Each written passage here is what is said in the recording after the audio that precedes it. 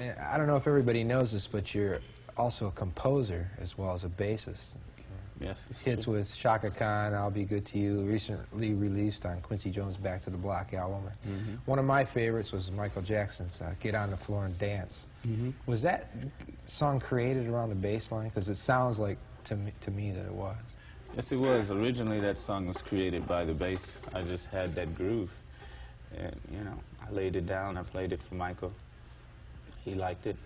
Went into the studio and recorded it. C- Could you play that groove the way it switches back from the chorus pattern to the verse pattern? It's, it's, it's oh, just you're perfect. talking about this, the, okay, goes like this.